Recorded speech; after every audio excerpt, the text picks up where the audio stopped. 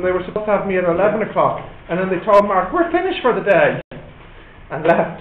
So when I came here at 11, they all went home because they thought they had no math class. I don't know why they thought that. One of my friends is in.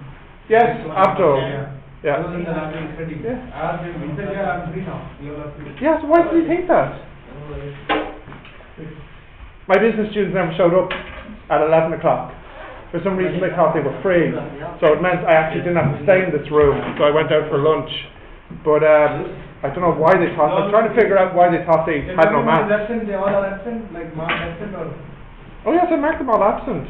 Because they got a timetable that says they have me at 11. But after Mark's class, they just went home. All of them? Well, there was only four of them in, so How many are uh, normally about 10 or something. 10, They didn't even huh? I don't know. I I can't always understand what people think. Anyways, we're here and we'll continue with the atoms.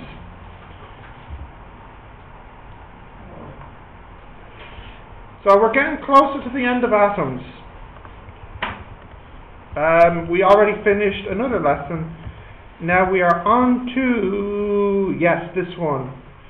Uh, I think I'm missing a couple of definitions in this, which I may have to get from the internet, but uh,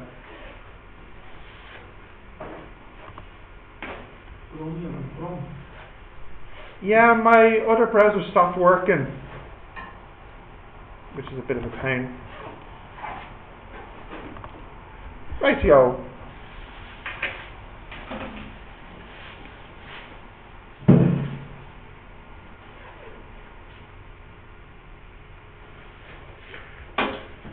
Sandwich for breakfast and lunch.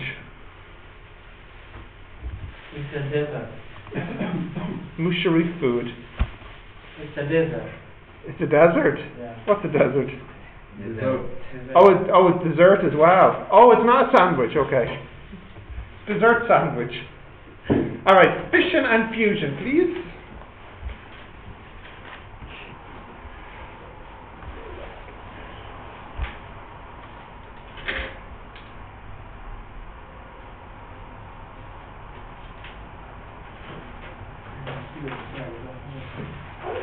That better be English, Mushari.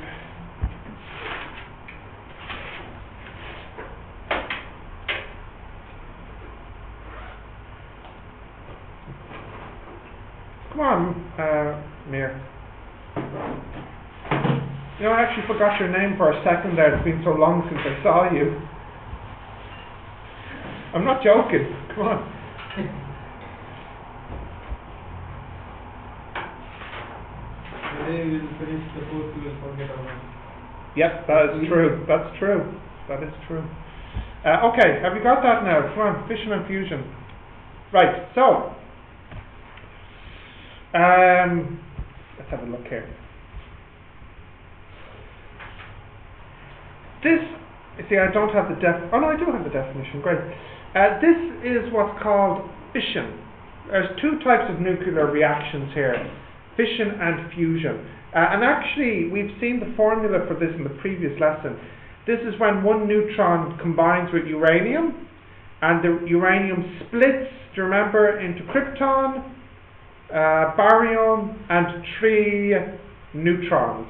We had that formula in the last class. You remember? Today, Yeah.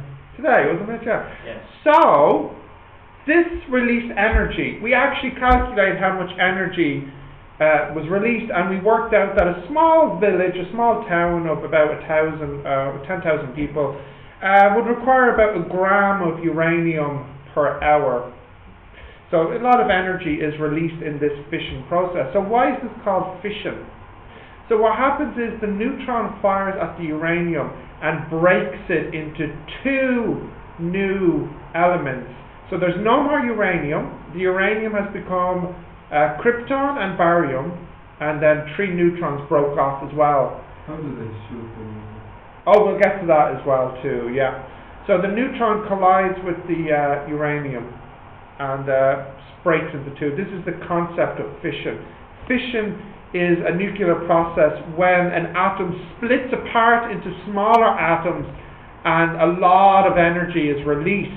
And this is used in nuclear weapons and not just weapons but nuclear reactors, which are the power plants. So, you know, it's used as both a weapon but also for creating energy as well.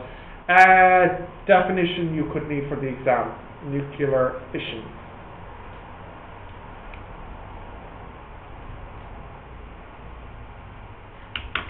Let me just uh, open up the text bar.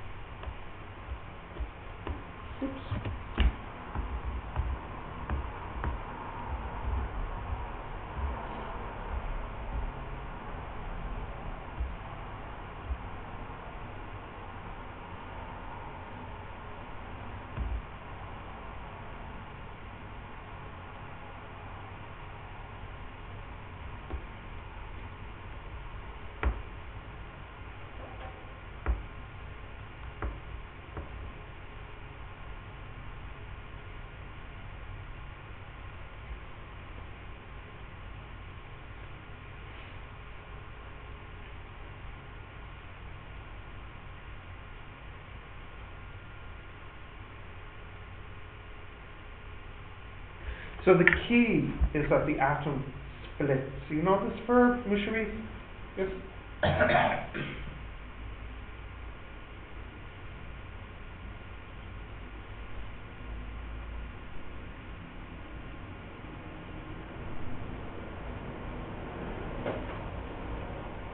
You got that? What word are you on?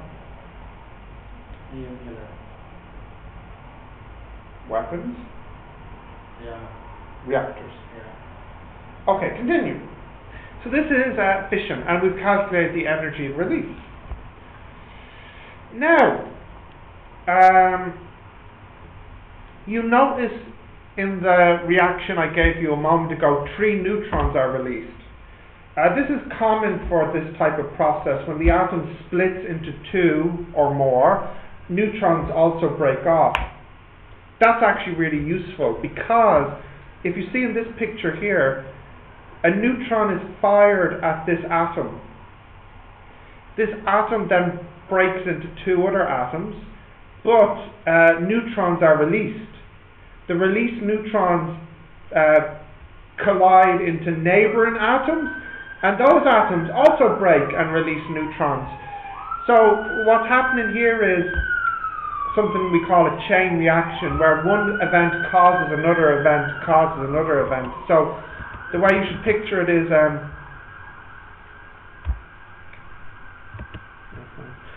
the uranium releases neutrons which collide into other uranium atoms which also release neutrons and so on and so on and so on.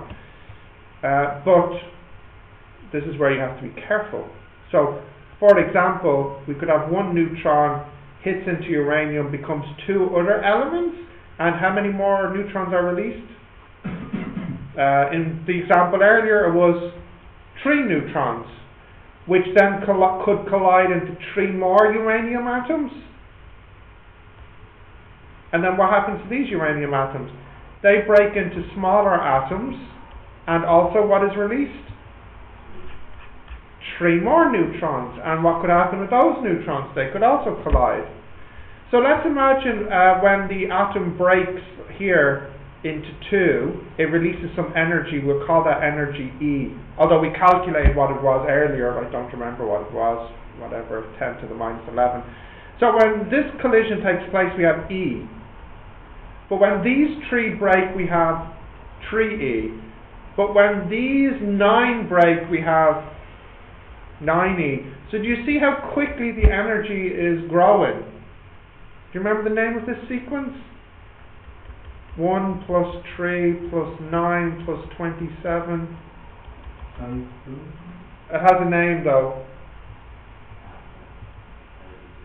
Geometry. Geometric. GP. GP, yeah. So, GP.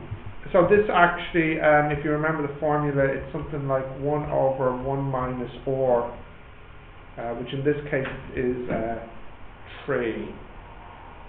well, I suppose, sorry, it's 1 minus or n over 1 minus or, yeah. So that would be minus 2 minus minus makes that, so that would be e, the 2 is at the bottom, so that's a half times 3n minus 1. So very, very roughly, just if you want a very rough estimate, it's um, 3 power n times e. Of course, there's other terms in it. So the point I'm trying to make is, uh, after one process, you have 3e. After two, you have 9, and so on and so on. It grows very quickly. So quick, in fact, this is what you get when you have a nuclear bomb, a nuclear explosion. You have a chain reaction. You have a small bit of uranium, and it very, very quickly expands, and all the uranium in it has been destroyed and has become energy. So, a chain reaction is a reaction in which the heavy isotope, like uranium, splits into smaller isotopes and neutrons are released. And these released neutrons hit more heavy atoms, which as a result hit another and another and another. And then the chain reaction is the main way of getting nuclear energy, uh, like a nuclear bomb. If you don't have enough uranium, then you don't get a chain reaction. So, like what happens here, let's imagine there's uranium here, here, and here. And we fire a neutron here, and it splits, but nothing else happens because the released neutrons don't hit any neighbors. But if you have enough uranium atoms, when it splits into three, then they can split again. So the critical mass is the amount you need so that the chain reaction can happen. If you don't have it, the chain reaction won't happen. If it's less than the critical mass, not enough. If it's greater than the critical mass, then there are enough uh, for the chain reaction to take place. So there's a lot here to write down, but you do need to write it all down, I'm afraid. Yes, go for it. Be strong. Be brave.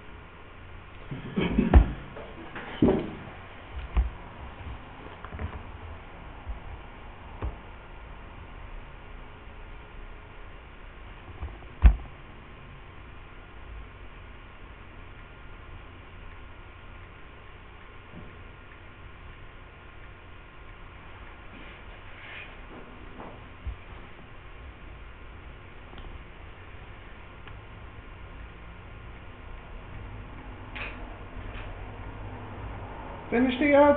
No.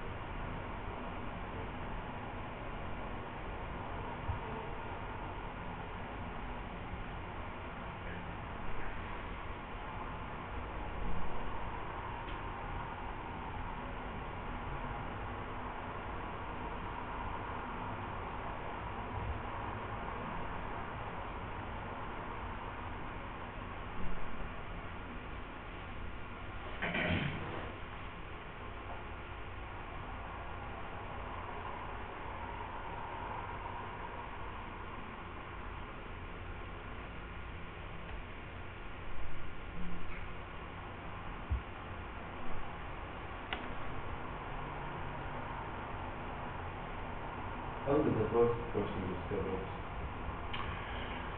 Um, I think it might have been like we were talking about earlier, Watson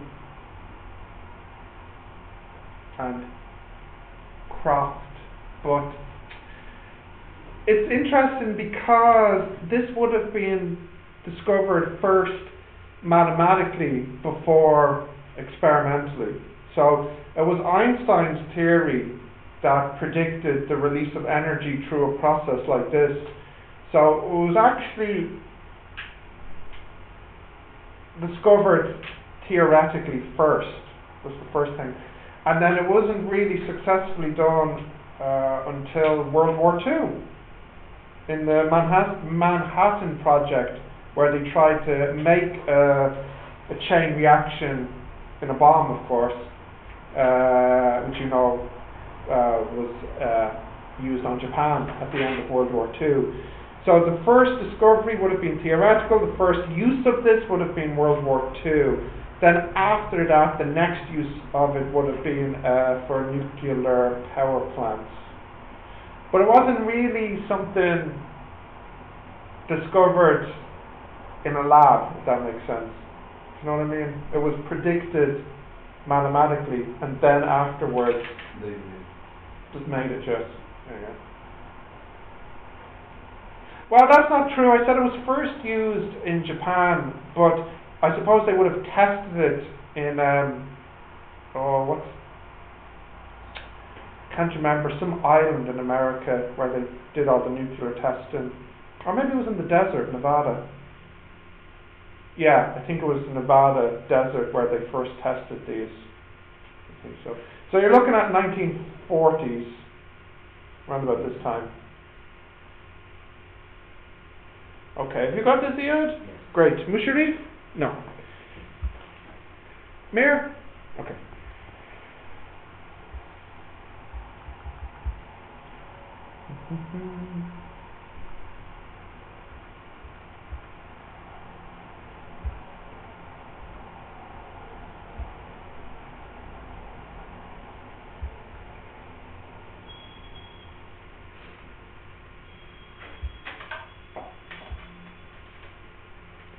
No?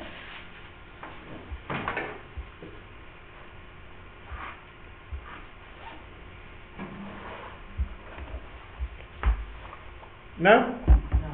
Mayor? Yes. Great, great. So I know there's an awful lot there. Uh, this lesson is heavy on the definitions. So critical mass, you want it to be more than that for a chain reaction, less than that, no chain reaction. Uh, let me just add in a couple of uh, spaces here. Hang in there, Iyad. Not much longer to go.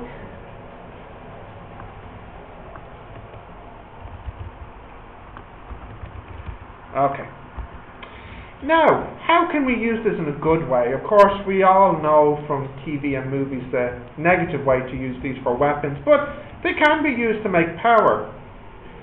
This diagram you will have to recreate in the exam if they ask it. It's unlikely that they will ask you to draw a nuclear reactor, but what is possible is that they might provide you with a diagram and uh, uh, have a part missing from the picture where you have to write the name in, or you know something like that. Now I know there's a lot here, but really the one that they would focus on in the exam is this part of the reactor, which is where the interesting stuff happens. So let's have an outline of how this reactor works. It's uh, not actually, I know it looks complicated, but it's actually surprisingly simple. So what you have, um, you have a um, cold water supply. This is usually like a river or an ocean, uh, but this cold water comes in some pipes and goes back out. Uh, and then at the bottom of this tank, you have some water. This water doesn't come in or go out, it stays in the system. Okay, so this water firstly is pumped into this chamber where it gets really hot from these pipes. Now, why do these pipes get really hot? Well, what's happening right here, you have this material called uranium fuel element or uh, uranium rod. So what is a uranium rod? A uranium rod is just a, a, a long pipe made out of uranium. Now it's not made out of pure uranium. I think it's mixed in with other materials. But what happens with this uranium is, you know, it releases radiation. This is basic. Uh, it releases alpha and beta radiation. So these uranium rods, they're releasing a lot of radiation. So what happens when they release radiation? Well, this chamber gets really hot from all the radiation coming off from them. Uh, so usually there's something in here like um, here it says sodium, but I think you could use other things too. So this sodium in here gets really, really hot from all the radiation. The sodium is then pumped around this pipe. So this pipe is really, really hot. It's full of really hot sodium. So the water, what will happen to the water? What will happen if it gets really, really hot?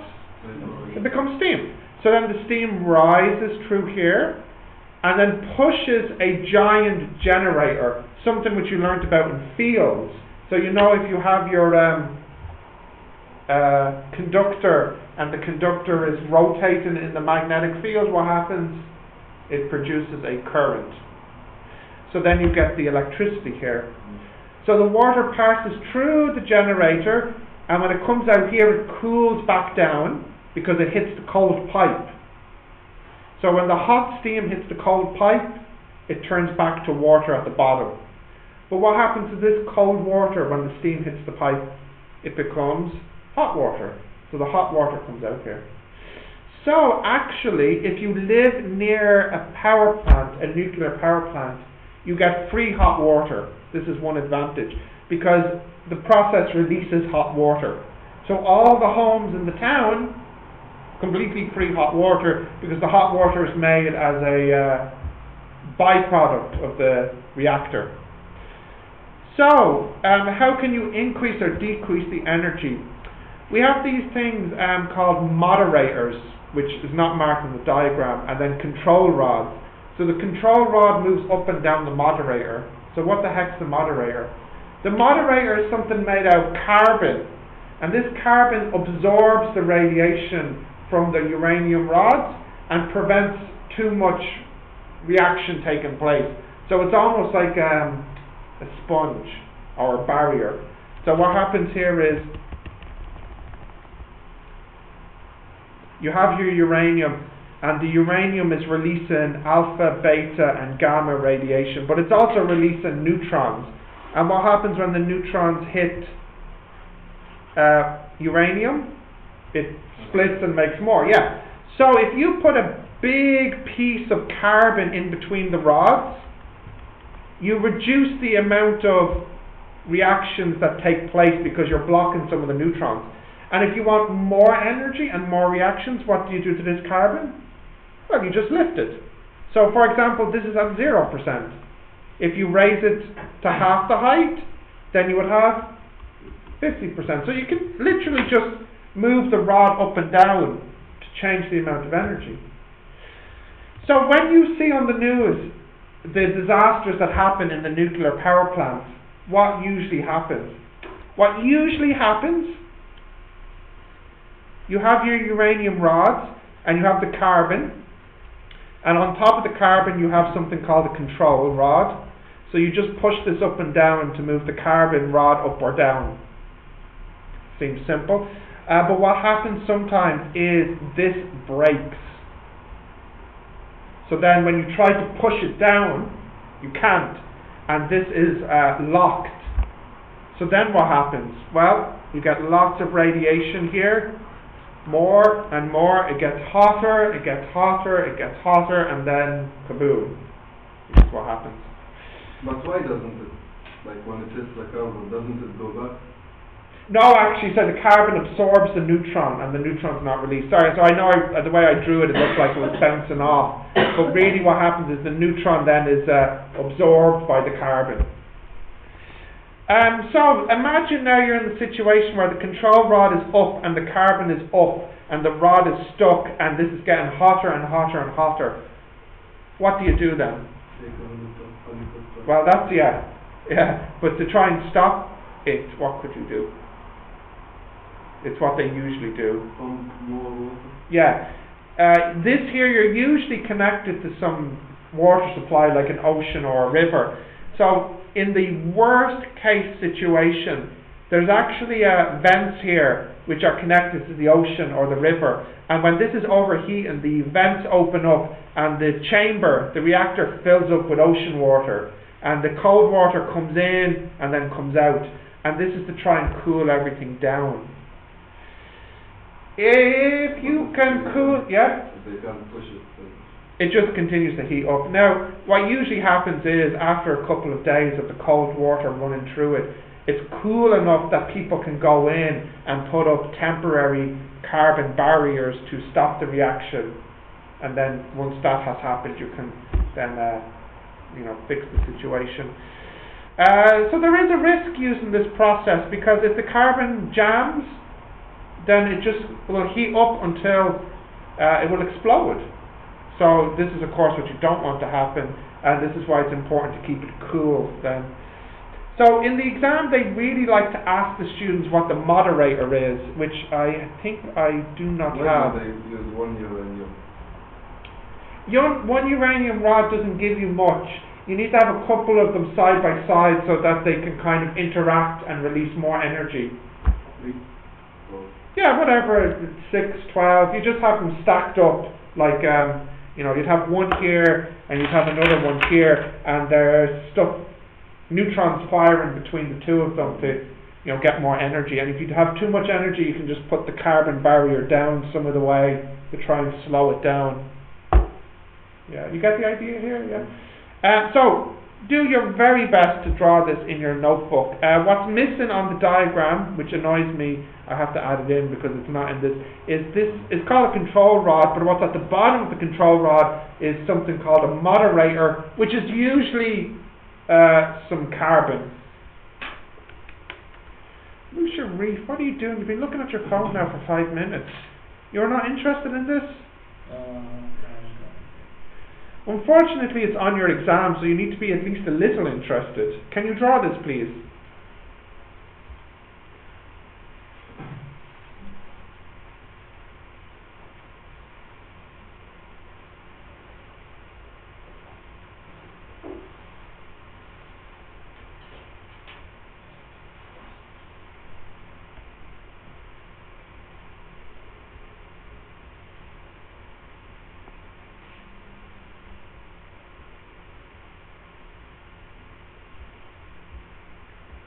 Why so sleepy, Mayor? You're struggling to stay awake. Late night? What time? Oh, dude. Why were you up until four? because I can't sleep. Why can't you sleep? Too much coffee? No. Too much studying.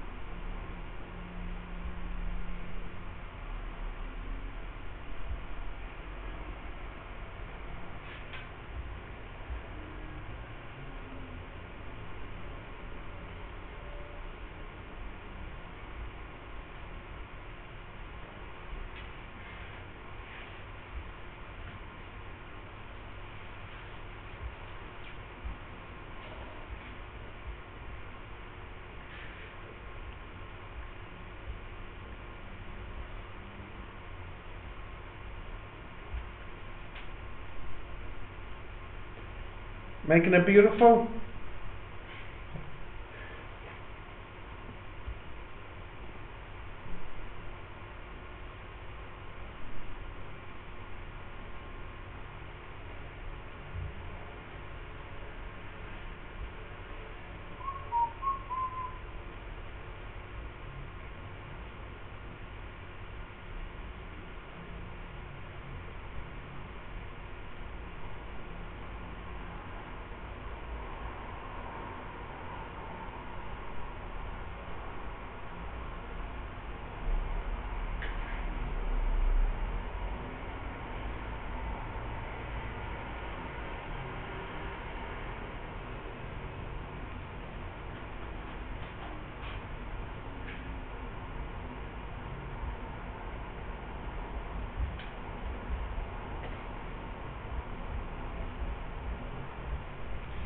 Have an email from the business students.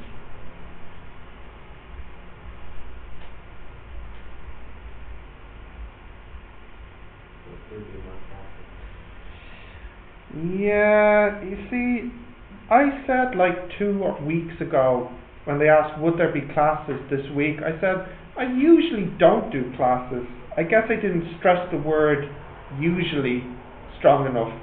So when they saw my name on the timetable, they didn't think, we have classes. They thought, hmm, he said we don't, so no need to check.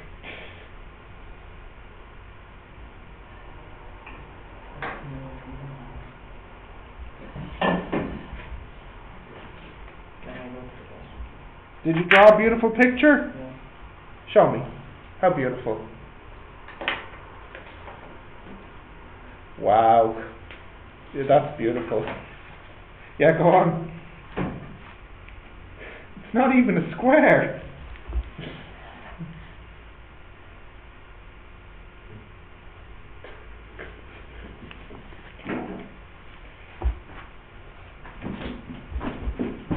Careful now.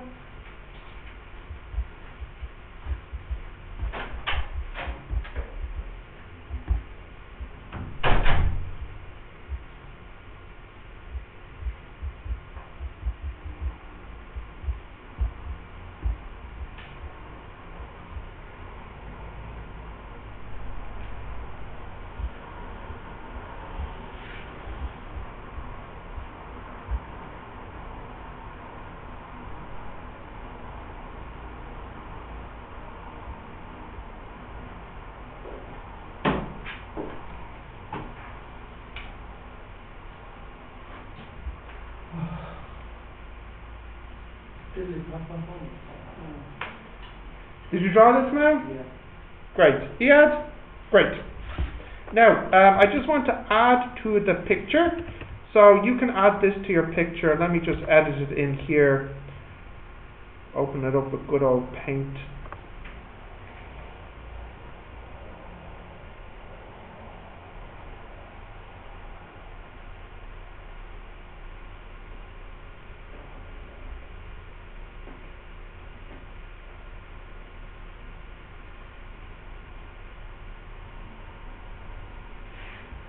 Okay. Has that opened yet? No. No, it has.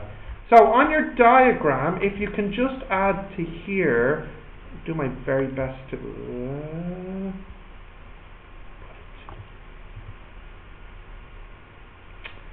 don't like this reactor core here. Let me just move that out of the way.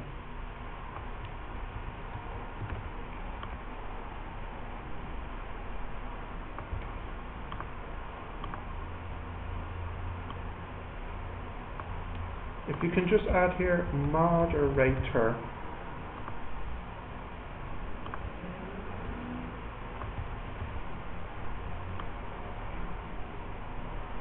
This reactor core, uh, Iyad, the reactor core is like the whole thing. Um, the moderator is the part at the end here that's usually made of carbon that blocks the neutrons. So if you can just mark that in on your diagram, uh, very important um, for the exam because they love asking about the moderator.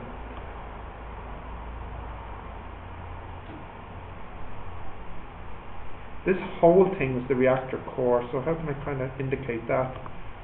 Uh, oh, ugly.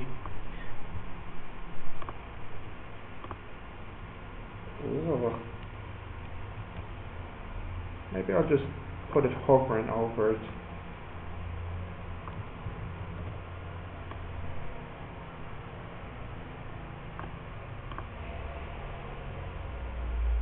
Yeah, guess we'll have to do.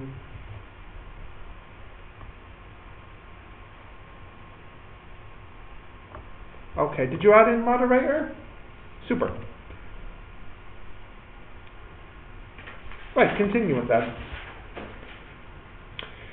So, nuclear fuel is a material that can be burnt by fission or fusion. Usually, the fuel for the reactor is something like uh, uranium 235, or plutonium. These are typical uh, uh, nuclear fuels to use in reactors. Uh, the action of mining, refining, purifying, using, and disposing of nuclear fuel is called the fuel cycle. So, of course, uh, where does uranium come from? It doesn't just appear. Where, where would you find uranium? Do you know where? Like what country or where? Russia? Hmm? Russia? Where? Russia. Russia. Yes, I think so. Although I think a big country is Australia. So I think Australia have many mines which you can mine for things like uranium.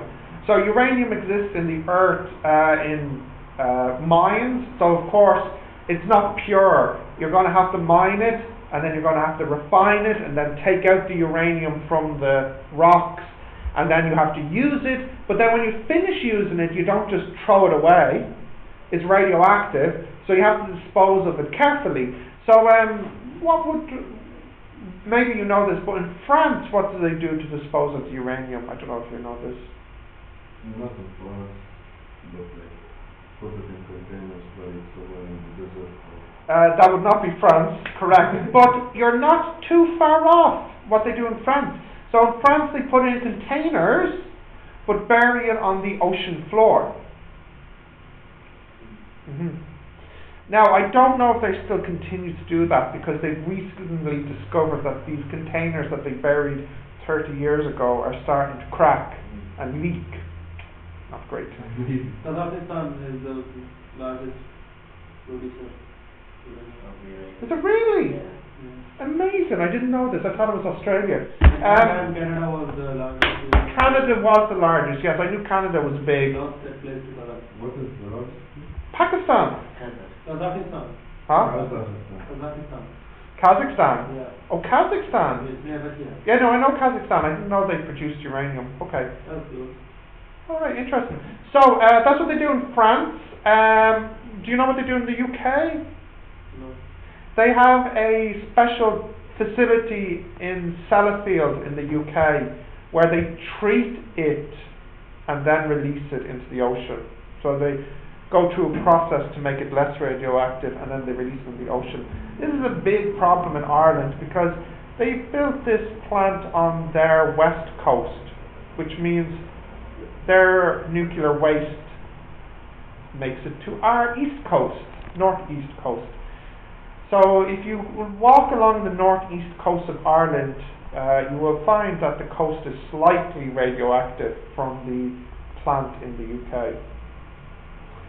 So it's interesting that they decided to build the plant in such a way that the waste would flow to their neighbour rather than dealing with it themselves. They love their neighbors. They love their neighbours, don't they? They sure do. Uh, so the big problem with nuclear, I was saying earlier, was quite How expensive. They treat it? I don't know actually. I don't know. Um, I'll have to look it up. I don't know what they do, uh, but it is a very long process where they can treat it uh, and make it mm, less damaging to the environment. But it's still radioactive, so uh, maybe it's I don't know better, but not great. Anyways, I was saying earlier that nuclear is very expensive. This is part of the cost. Part of the cost is when you're finished with the fuel, you can't, you know, you have to do something with it, you know. Uh, so usually what happens is a lot of nuclear power plants, they get made, they run, they run for 20, 30, 40, 50 years, and then they have to be dismantled. And then all of a sudden the power company says, oh, we have no money to dismantle it, it's very expensive to dismantle it, and so then the government has to pay, which means the people have to pay. So it might seem cheap at the beginning, but in total the cost is actually quite high. So, Why do they dispose of what? the stuff? Oh, the uranium fuel only burns for so long, and then you don't get much energy out of it. You know, it's like, Not as much. yeah, you maybe only get like 1% of what you got at the beginning. Mm. So it's no good to use, but you can't just get rid of it because it's still radioactive, you know, so what do you do with it? So nuclear fission is expensive and it's dangerous and really in my opinion it's probably not worth it. It's only really worth it if you want to be energy independent, which means that you have a government that doesn't want to import oil from the Middle East, like France or whatever, uh, or maybe like America or something. Uh, France, I don't believe, have any natural fossil fuels. I don't think so.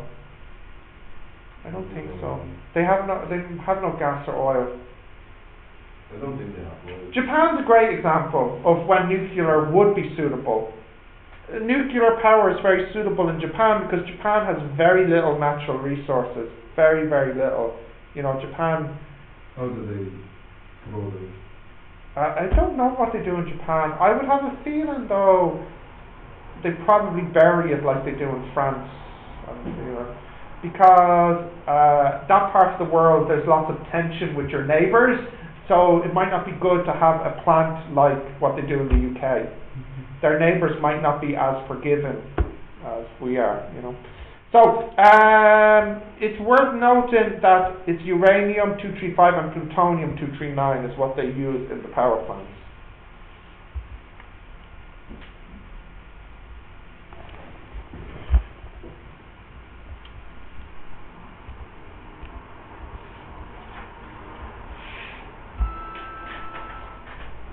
What are you doing? Latte art. Latte art. Nice. Did you make note of what I said to make note of?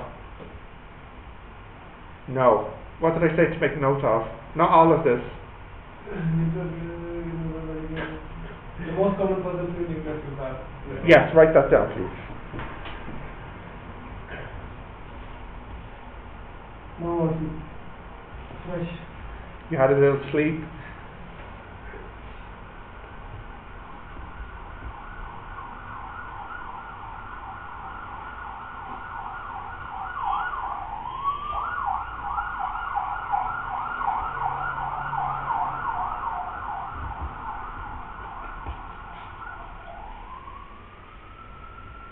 If the ambulance takes you, then they will take money? Or Huh? me? The ambulance. If I get accident, they will take money from me or? No, they won't ask you to pay at the end like a taxi. Or like this?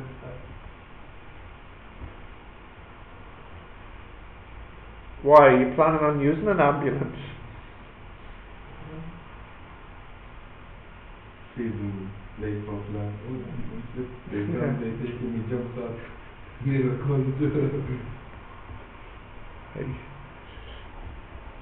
Be quicker than driving. Yeah, they put it Okay, did you write that down?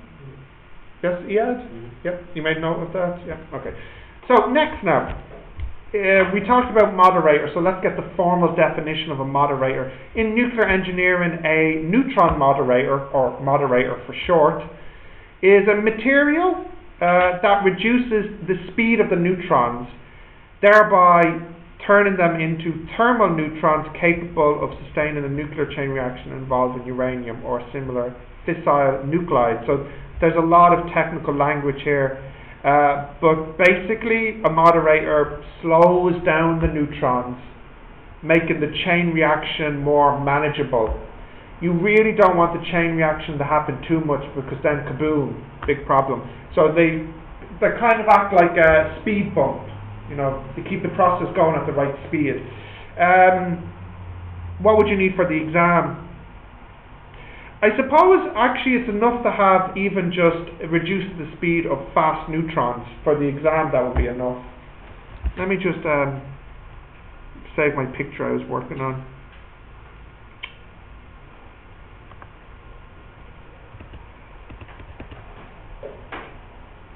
Uh, so for the exam, you could go with. Um,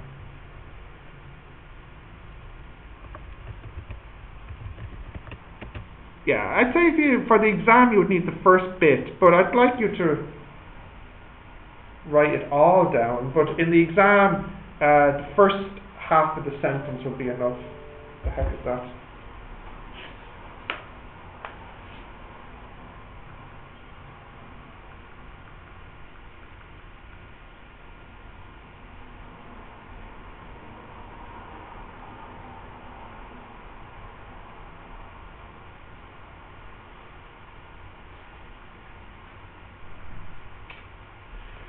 Got this? Well, look who's returned.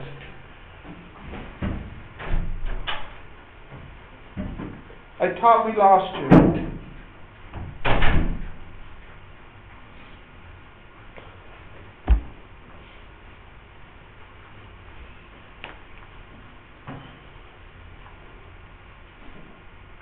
You have this? Yes. Mir? Yeah. Continue? Yeah. Yeah, continue. Okay.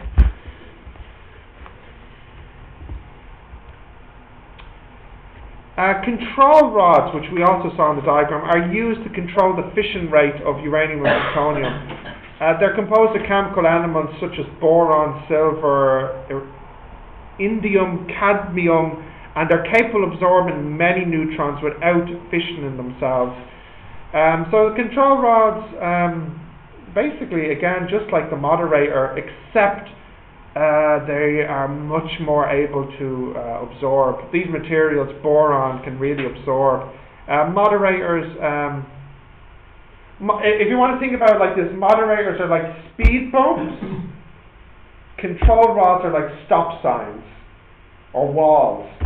So uh, the moderator will absorb the neutrons and slow them down. Uh, the control rod, if you pull it down over the fuel, uh, will completely block the neutrons and just absorb them all. Uh, so this is when you have an emergency, you drop the control rod and block the neutrons from continuing. Uh, the moderator is, you know, just like I said, a speed bump. Um, let me have a look at my picture there. Yeah. Okay. Not a great picture. Uh, so you've got two parts. You've got the control rod and the moderator.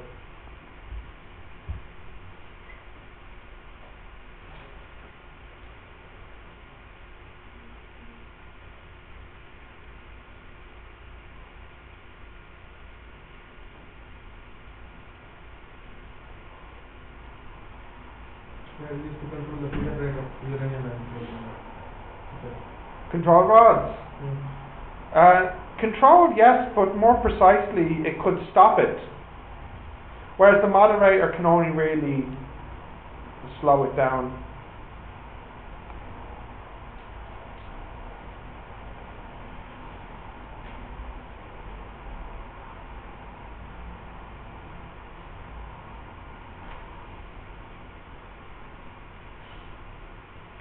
Ireland, Ireland is a nuclear country? Oh no, power.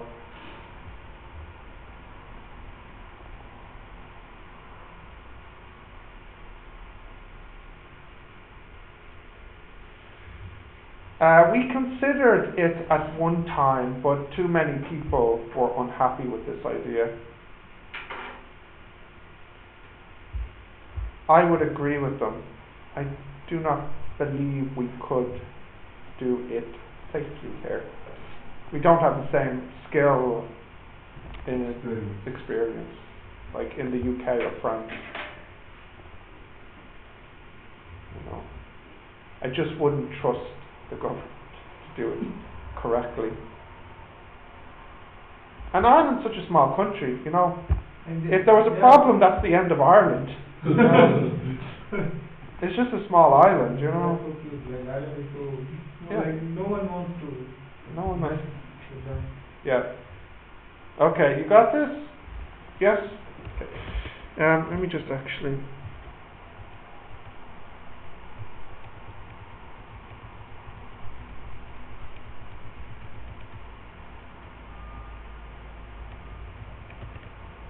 Right. Okay. Now, have I got the definition? I do. Now, uh, next part.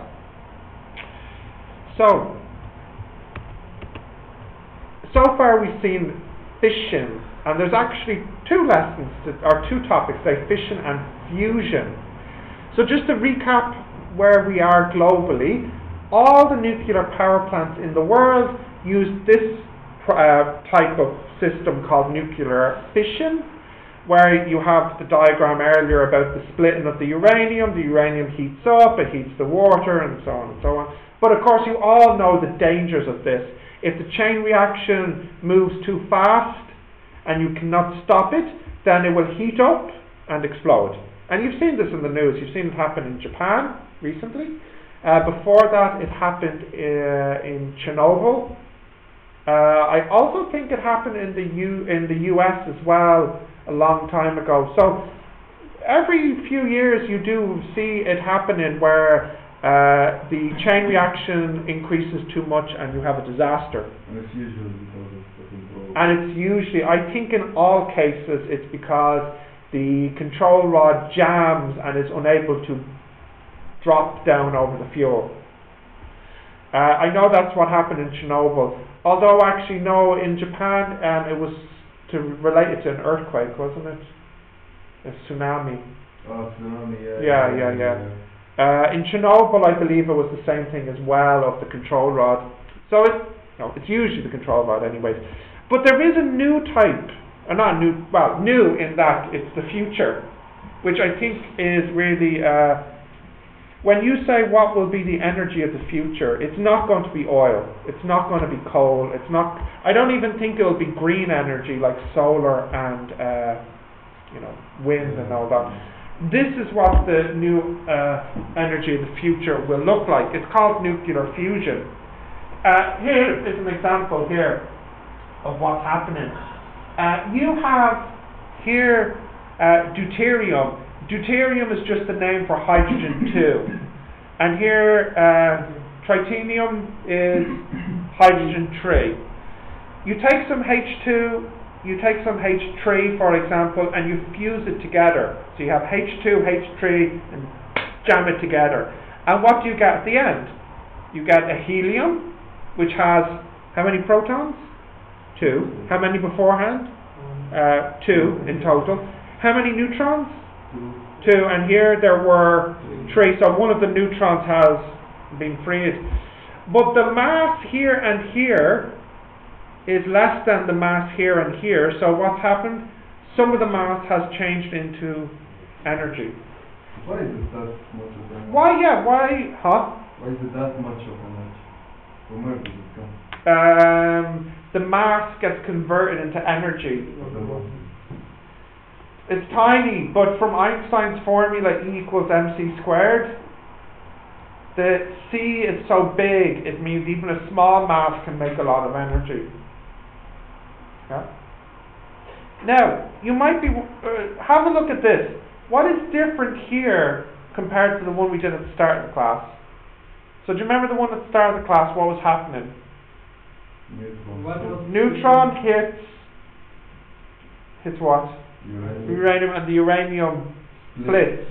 Now what's happening here is it's the opposite, isn't it? Yeah. You combine uh, two elements to make a new element and release energy. Why is this much safer? Well, there's no chain reaction. If you want this to stop, you just turn the machine off. It's completely in your control there's no chain reaction. Um, in the first example, the process is able to feed itself. Naturally. And then Yes, naturally. But here, it is up to you to keep smashing the two together. And if you simply want to stop, then you stop smashing the two together. You turn one of the machines off. So it is 100% safe. Also, 100% clean. Because what do you get at the end? Do you have any radioactive material at the end? No. What do you have? Hmm. Helium. Just helium. Helium like in the balloons. Completely clean. And what did you have at the start? Hydrogen. Not uranium. Completely clean. This is the energy of the future. But what is the problem? it is extremely, extremely difficult to continuously fuse and smash the two together. It is a process that is so difficult to maintain continuously. It's so easy for it to break and stop. In the very beginning, this process only lasted for uh, one quarter of a second and then the machine stopped. Today, I believe the current record is uh, 12 hours. this is no good to power a city because you can't have it stopping every 12 hours. Uh, but one day, in time, it will improve so that the machine runs maybe for one year, then maybe it runs for five years, and then at that point, I think people will say, okay, now it's time to use it. You know, um, so this is nuclear fusion, and it's the process of making a single heavy nucleus from two lighter nuclei and this is uh, this process of nuclear reaction, and also it releases a large amount of energy. So you have two small uh, atoms, smash it together to make a bigger atom, and you release some energy in the process. One disadvantage in the previous method, all you had to do was fire a neutron. In this method, you have to fire two atoms at each other. This requires uh, a lot of energy so, How do they fire? oh yeah, we'll have a look at how that's done actually. Um, so, in the fusion here, before you write that down, I'd say I think it's roughly uh, for every one joule of energy you spend firing the two uh, hydrogens at each other, hydrogen one, uh, sorry, hydrogen two and hydrogen three. For every one joule of energy you spend to make the helium, you get uh, 10 joules back. I mean, that's still good, but believe it or not, that's not as good as, say, oil. So, with oil, where's oil? Of course, it's in the ground. So, for every, uh, in Saudi as well, yeah, for every, uh, for every one joule that you spend uh, getting the oil out of the ground, because you know you have to work to get the oil out, uh, you get in total about 25, maybe 30 joules of energy. Back 100 years ago, when oil was easier to get, it was as high as 100 joules. You know, back 100 years ago, uh, some of the oil was so near the surface that if you break into the right spot, the oil uh, rushes out that never happens anymore because all the oil right now is so deep because all the cheap oil has been extracted. Uh, so even 1 to 10 sounds good, but it's actually not that good when you compare it to alternatives like oil and gas.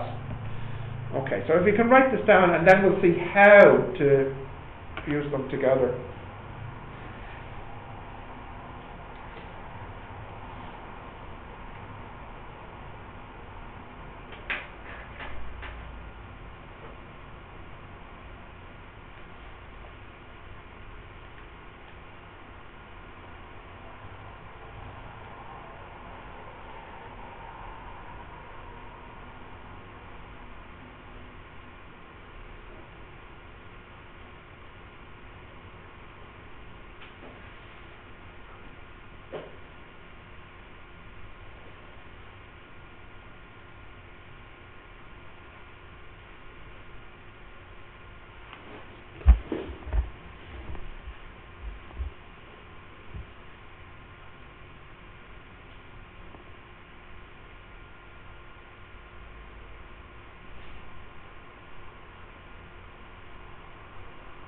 You have this already now?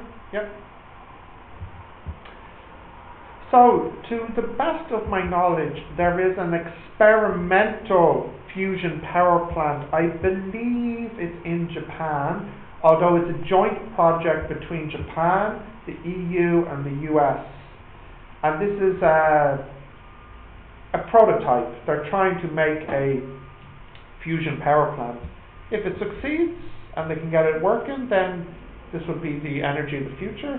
Because if you think about it, um, it's exactly what you want. It's clean, there's no waste, it's not dangerous, it, there's no risk of an explosion, and uh, it makes uh, energy which then you could use this energy in electric cars. You know, so this if this works, it would really solve uh, the need to have fossil fuels and uh, you know it could really just totally change the way we do things. Um, so you were asking how do you actually smash them together? So it- it's actually very, very interesting what you do. Can I draw that now? Okay. So, um, firstly, hydrogen 2 is two protons and zero. Oh, No, sorry, what am I saying? Ridiculous. One proton and one neutron. And hydrogen 3 is one proton and two neutrons. No electrons. So, what is the charge of hydrogen 2? Yeah, it's positive uh, 1, isn't it? And this one is uh, also positive 1. So it has a positive charge. Now, hydrogen at room temperature, what form is it in? Solid, liquid, or gas? Yes. Gas, yeah. So let's imagine we have some mixture of hydrogen 2 and hydrogen 3 gas. It's just mixed together here. Come here. Please. Thank you. Uh, what charge is it? Positive. Yep. So do you remember um, when we did fields, we said if we have a current, which is a moving charge, what do we get around it? A magnetic field. So we get this magnetic field around it. So what they do is we have this hydrogen gas, and you have like a big um, magnetic field around it, or something like this. I don't know. And then of course the south, or whatever. So this big magnetic field, what you do is you try and focus the gas into a ball shape. Do you understand? Because it has a charge and the gas is moving, obviously, because it's not a solid. So because it's moving, it has a magnetic field. Because it has a magnetic field, you can control it with another magnetic field. So then what you do is you try and get the gas in a sphere shape. H2, H3 gas and this gas is held into place with a magnet, which is pretty cool because if you picture this room, what you have is a big round room, and at the edge of the room are magnets, and in the center of the room, what do you see? This tiny little ball of gas just floating there. You got that pictured so far? Yeah? So you're in this big room here. Whoa. Then around the edge of the room, you have these little lasers.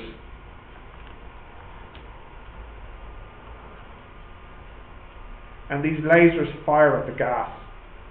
So, what's going to happen to this gas as you fire lasers at it?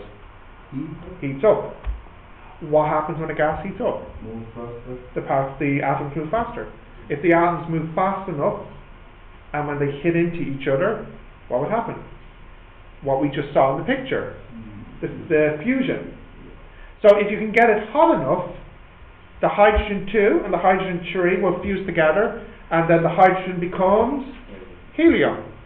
And it gets really hot, and then what happens? It releases energy. So although you're putting energy into it, let's say one, I don't know, gigajoule, whatever, the energy that you get off as heat will be bigger than that, it'll be 10 times that, 10 gigajoules. How do you absorb them? Good question. How do you absorb it? So then what you do is uh, you fill this room with another gas like lithium. The lithium fills this room up and the lithium will get hot. The lithium um, acts like um, like a sponge. It takes in the heat, but because it's much bigger, uh, the heat is kind of spread out. You know what I mean? Like it's kind of like you have this very small hot circle and then this big area that warms up. Then what you do, you take a pipe, pipe goes in through the lithium, around and back out, and the water goes in. The water goes in cold, passes through the lithium, heats up and comes out as steam, and then you know what to do then. The steam pushes a generator around. So the lithium is not gonna mix with the heat. No, um, I don't know if they have some barrier between the two, but what you could do, if the lithium has a positive charge, then it will repel from the hydrogen in the center, which is also positive charge. So I suspect the lithium may be just positively charged, and it will push away from the uh, the uh, the hydrogen gas in the center. So this gas is hydrogen and then it turns into helium. So it's a mixture of hydrogen and helium. Now does that sound familiar? You have a round ball of gas that's a mixture of hydrogen and helium and it's releasing a lot of energy in the form of heat. Does that sound familiar? Where have you seen that before? Helium and A helium hydrogen ball of gas that releases a lot of heat. Yes, correct. So you are literally making a miniature sun. Literally, that's what it is. why doesn't uh, helium repel itself because it's so? The helium, why doesn't it repel? It wants to. It wants to. That's why you need the magnetic field to keep it in place. Now, there is no magnetic field around the sun to keep it in place. So, what is the process that keeps the gas together and stops it from spreading out? Gravity? Gravity, yeah. So the sun is big enough that the gravity can pull everything back in and prevent it from escaping. So this is what I mean. This is the energy of the future. This is uh, you're making a miniature sun, and that's not an exaggeration. That's literally what you're doing. Uh, now, if if the gas broke, it's no longer a ball shape. Then this is when the machine fails because you need to keep it concentrated in the center. So the difficulty is controlling the magnets to keep the gas in place because, like you said, the gas is trying to spread out because it's positively charged. So the helium, the hydrogen two and the hydrogen three, they want to uh, separate. So you're trying to keep it really, really tightly packed in the center. A difficult thing to do. But like I said, it's safe. So when you want to stop it, you just turn the laser off and then it just cools down and then it spreads back around the room. so this uh, this is the future. So maybe in 50 years' time, this will just become a normal thing. You know, every country has a couple of them. How long did they take to make it from quarter to second to silver? Oh yeah. So what's the rate of progress? Um, when I was in school, your age, uh, my physics book said the record has been two seconds. Uh, that would be, let me think, when I was uh, 12. So it's gone from about two seconds to 12 hours over maybe about 14 years. So maybe in another 15 years they could get it running for maybe a few weeks or a few days or whatever. So I would say in about 20 years it could they could prove that it's a possible way to generate energy and then maybe in another 20 years or 40 years you could start seeing them being used commercially in countries and then maybe in 50 years it just starts becoming a more normal thing to have in a country. It'd be a great thing to do on your presentation, but it's probably too late now. You probably have all chosen your topics. Yeah. What's yours? Waves, hybrid. I'm 19. Am I changing the this? I think this is interesting stuff. Electricity. Electricity. Oh yeah, that's right. Yeah, mine is also electricity. Okay. Okay. Yeah. Can I put this in the electricity and say this is how you can also produce it? It's a yeah. It's a.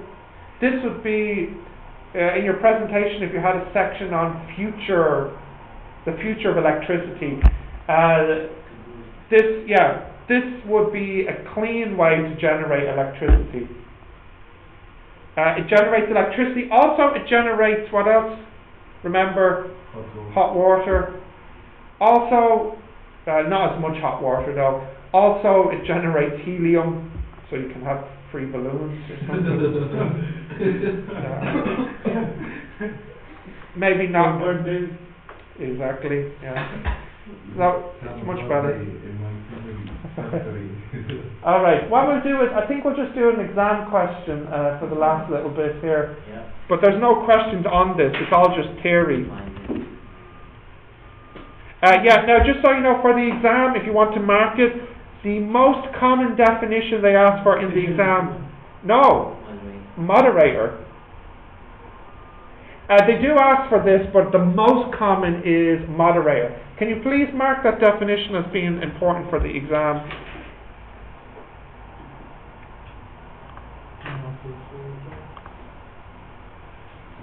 Hang in there, Mushari.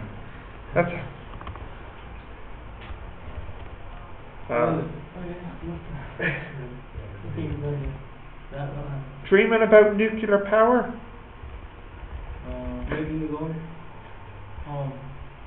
Dreaming about home? Home.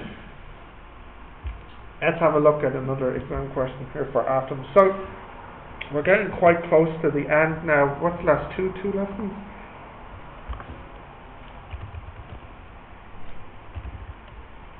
Um, yeah.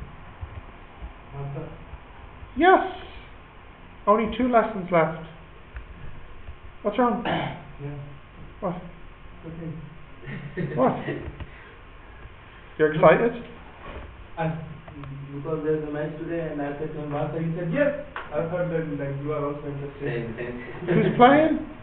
Barcelona. Barcelona. Oh, good, yeah, yeah. Okay, let's see, let's see, let's see. Let's see. Yeah. Huh? Mechanics, materials, electricity, waves. Right. Here's a great one. We'll do this one. Um, let's start with the A part. So very, very short. In fact, we could even do it together. Right. Part A1. What does the A represent here? Yeah, which is what though? The number of and neutrons. Yeah, number of protons and neutrons. Correct. What does the Z represent? Yeah, which is what? Tell them what it is. What is it? Number of neutrons? Oh, dude, protons, come on now. Who's your chemistry teacher? Lada. No, no, no. She'll hit you now if she hears you saying that. Protons, Yeah. protons. And what is an isotope? Uh, having same chemical properties but different. Same number of protons. Same different number of number of protons. Different number of neutrons. Uh, so in your explanation, is there any difference in the A and the Z? Yes. Uh, usually the A is twice as big as the Z, usually. But if you have an isotope, often, what is the relationship between A and Z? Uh, One or two. Plus one. Plus. Yeah, so it's more than twice the Z typically. Yeah? Uh, right, so how many marks for basic chemistry, physics knowledge? You know, that's four marks. So you're up to a good start. Yes? Right, now, up. next one. Um, this is undergoing a decay, and you have to balance this equation. So you have to figure out uh, what is here. Is it alpha or beta? Um, so can you just write this down balanced, please? Do you know what I mean? Like, uh, can you see that there's two question marks you need to fill in? Yeah. Yeah. So if you can write that down, balance it, please.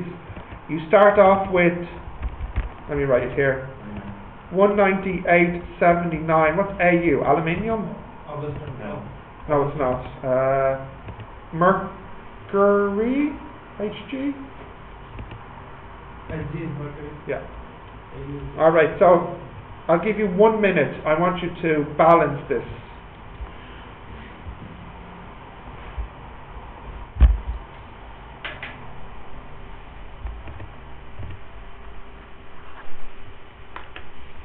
AU is gold.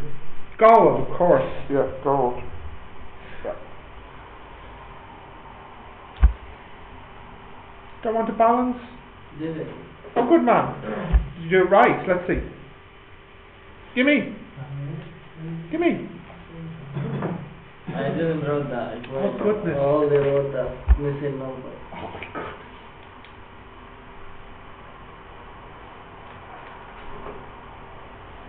Wow. Yes, the numbers are correct. All right. What number goes here? Uh, or what number goes here actually? One. No? Nearly. Has to be minus one because you want 79. Yeah. Uh, so this must be the beta. Uh, so here is Two. uh, zero, Zero. and this one here Twenty-nine. One nine. one nine eight. How did you do this? I didn't understand. It's possibly because you missed this lesson. I was there. Were you? In the morning I was. Heck no, because you've been missing the last two weeks, except for yesterday's class and Thursday two weeks ago. So I'm sure you must have missed this lesson.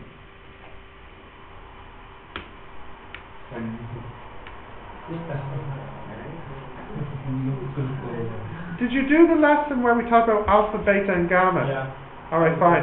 So this has to be beta because uh, you have 79 protons here, uh, but it's increased to 80. So to balance it, you must have a minus one here. You have it. I'll show you.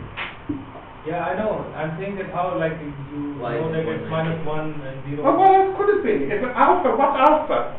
Eighty minus seventy-nine. Yeah. No, but what's alpha? What's alpha here? Alpha. What's alpha? There is one. Uh, What's alpha? two protons. Two protons and two neutrons. So what numbers here will be for alpha? Two and four. Correct. So what's two plus eighty? Two. 82, which is not Yeah. 79. So you have no choice, it must be beta. It's the only way to balance it. And it can't be gamma, because gamma will be 0 and 0. There are no protons and neutrons, so... Sorry, no, no. I thought this, I thought this was an easy question.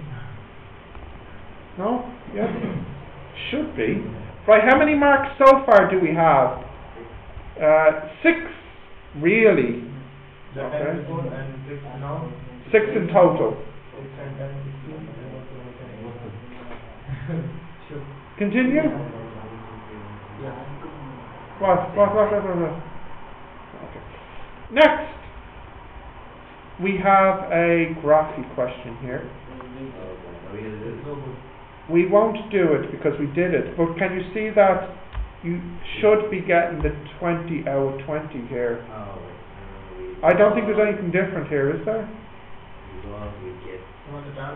How do we complete the table? What's missing here? Log activity. Easy peasy, another two marks. What's our total now? Eight. Plot this for four more marks. Can you do that? Yeah, what's our total now? Uh, 12, isn't it? Yeah. How do we calculate the decay constant? The slope minus the slope. Two more marks brings us to 14. Half-life is log 2 over the decay constant. Two more marks brings us to 16. Yes. Uh, this one is a calculation where we have to work out the time to get one third the activity. So this is a bit of a maths one. Remember we did these before.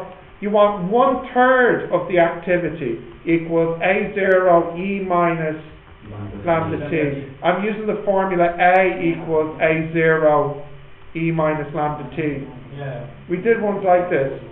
Yes. Yeah. What do we do here? Cancel, cancel, log a third equals minus lambda t.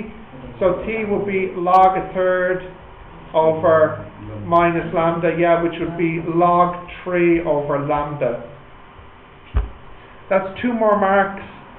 And lastly, what is the initial number of nuclei for the last two marks? What formula could I use to get that? This is the um, n. So we could use this formula. A equals minus lambda m N. because we know the lambda and we know the A. The A is uh, two ni- 9986 kilo. Just be careful with that. Kilo. But- Yeah. Kilovolt. 20 marks. Okay, let's have a look at another one. my motivation. For the exam. Yeah, like really, it always disappoints me when students do badly in the physics exam because I'm thinking, goodness, you got 20 marks from the atoms question. If you just found another 20 marks from the other 80 marks in the exam, you've passed, you know. No, I know, but you can understand how disappointed I am when students fail. Because I see no reason to fail this exam. I kind of get why you might fail like EAP or maths, you know. But when I look at the physics papers, I'm like, Who fails in EAP? well, no, but I don't expect anyone in this class to fail EAP. Not in this class. But you know, there's some students that have low level of English. So. But usually students don't fail EAP. So like, you know, at the end of the year when they pass EAP and fail physics, like, what happened? But there's no, there's no reason to fail the physics. I mean, you can pass the exam nearly on just atoms and some mechanics or whatever. Right, let's have a look at the next version here. Uh, I want to do another atoms question here. No, no. Great. Okay. Um, can we do A7? But we'll do it together, but I want you to write the answers down. Uh, so A7, um, you have a radioactive isotope that releases a beta. What happens to the proton number? Write it down, please. Open up your notebook. Come on. This is 2012 version 2, A7. Yeah, Sorry. write down. What happens to the proton number when a beta emission takes place?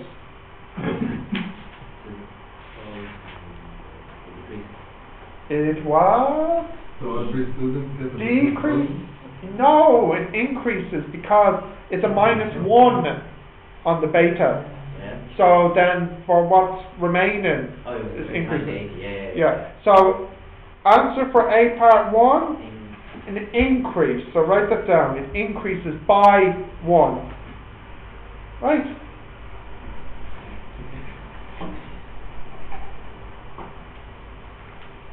Increases by how much? One. Ah, give me strength. Increases by one.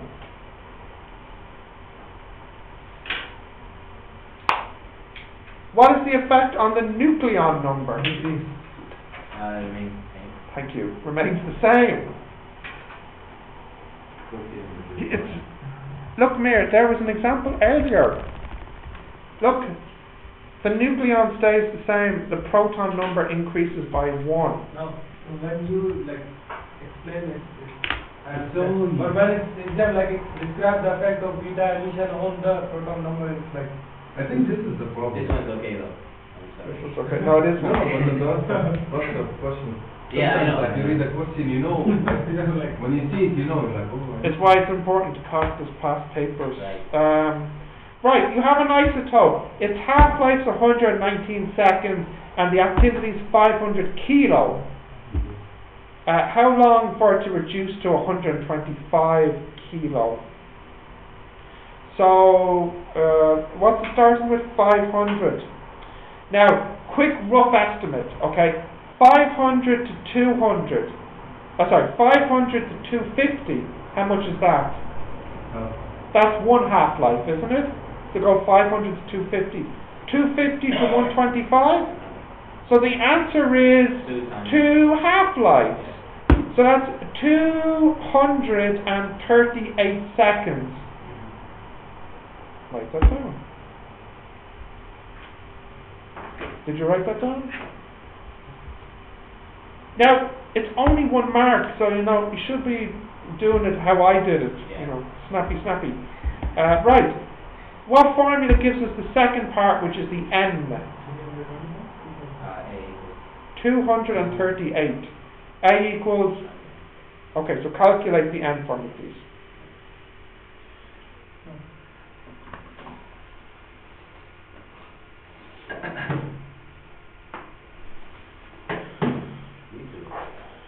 That's one, one more question, Yeah. exam, we can So just what, write what, the you will have answers. party. For one mark, yeah.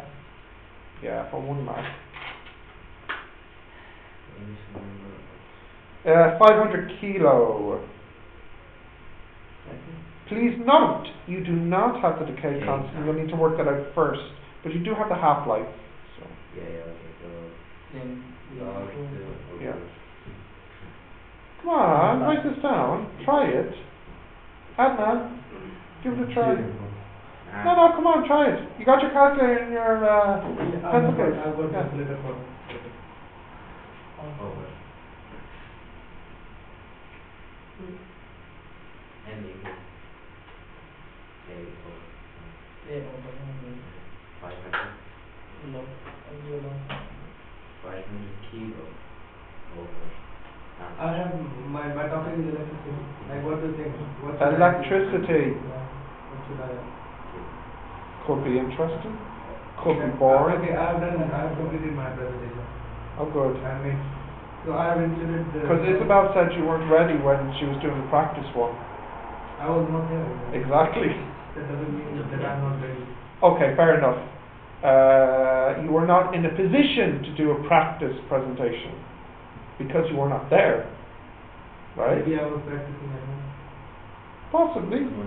No, I was uh, I was absent at that time. Uh, And were you practicing at home?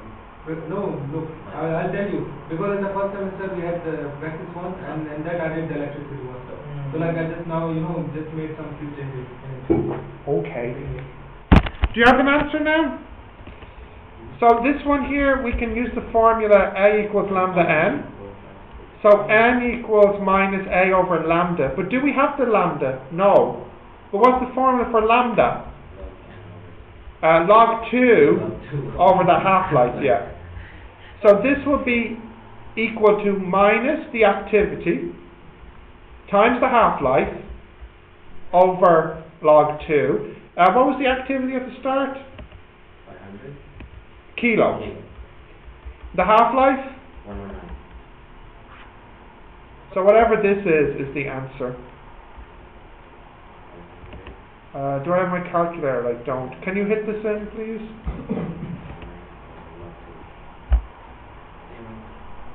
Good. What did you get?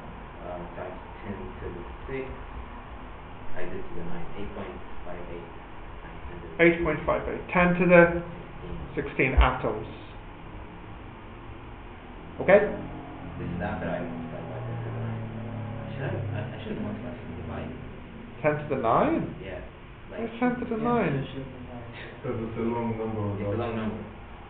Oh, you converted. Yes, yes. No, no, no. Should I leave it? No, yeah, because you don't really have a unit here because you have atoms. It's not really a unit, so you can't really say mega atoms. Do you know what I mean? Eight six two three one eight eight four point zero. Yeah, yeah, it's, Yeah. Uh, the only the only suitable thing to convert this into, because you're counting atoms, will be moles. So you could divide by Avogadro to get the number of moles, but Avogadro is still much bigger than this, right? yeah. No, but we can write like. Well, it, it would be So- one point four two times ten to the thirty-nine. It's better to write, Avogadro? Moles? yeah. No, you need to divide this by Avogadro, so you're making the numbers smaller. You're making it bigger. You're doing something peculiar there. So like 10 to the 23 or Yeah. You put brackets around it? It's like this, okay, divided, Let's see. No, no. answer divided, okay. Answer divided, well, can I go backspace? Uh, Here, let me just type it in. 8.58 times 10 to the power 16. And what? that's not the original number. Oh, it's not. Oh, I see. Okay. 500 times 10 to the power of 3 times 119. What's mu mu mu mu Huh? number twenty one? We'll get there. We'll get there.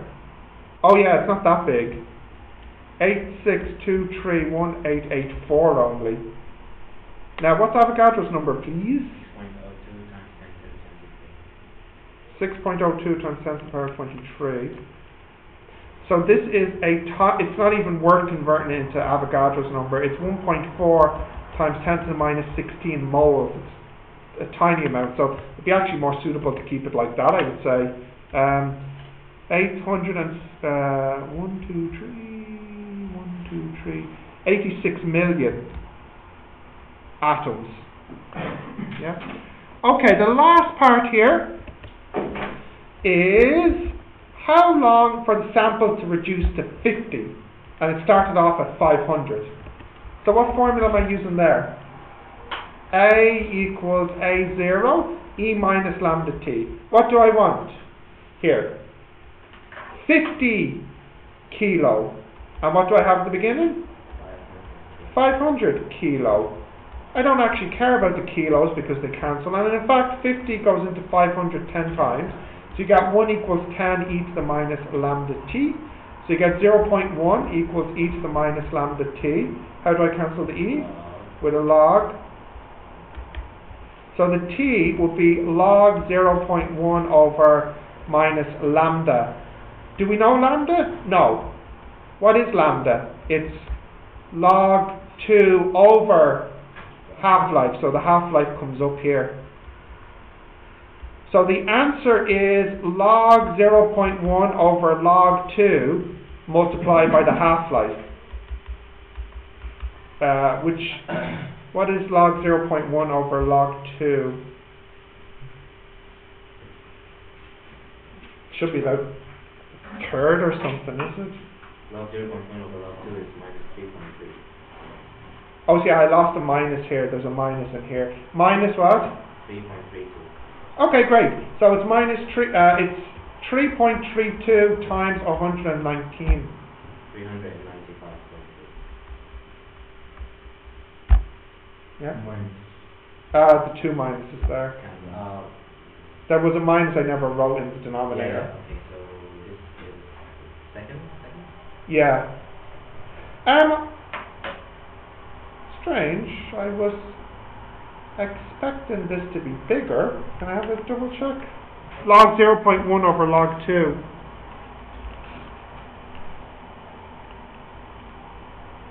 Hmm. Okay. If you don't put the brackets after, it bit different. If you don't have brackets. Yeah, no, it is this. Okay. Something feels a bit fishy here. We start off with 500. No, there's something wrong here. Maybe we'll uh, do it in a laboratory. 50 goes into 500 10 times, doesn't it? Yes. And 1 over 10 is 0.1, isn't it? Yes.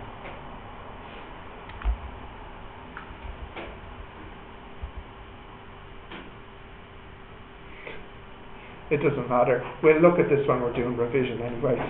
I can see you're ready to go.